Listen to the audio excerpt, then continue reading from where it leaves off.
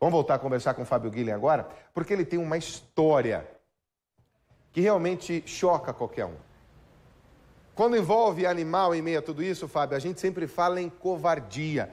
Outro cachorrinho aí na região que simplesmente foi morto a tiros. O que está acontecendo, Fábio? Pois é, Rivaroli, que comportamento estranho né, que está acontecendo aqui na região. Desta vez, assassinaram o Alvin, o cãozinho da dona Dirleia, uma moradora de Paysandu, cidade que fica aqui na região metropolitana.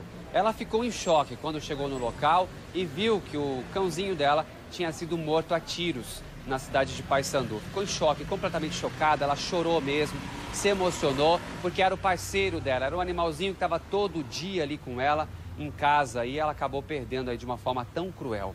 A Polícia Civil já abriu um inquérito e está tentando descobrir quem é o autor dessa morte. Aqui em Maringá, há uma semana, um cãozinho da raça Poodle também foi encontrado morto na calçada, vítima de dois disparos de arma de fogo. Os donos do animal também ficaram chocados ao se deparar com essa cena.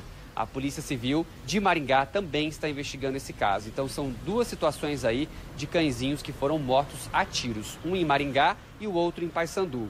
Dois casos em uma semana, Rivaroli. É, a gente defende toda a forma de vida aqui. Todo mundo fica revoltado e consternado, agora quer saber por que está acontecendo. São as mesmas pessoas? Não são?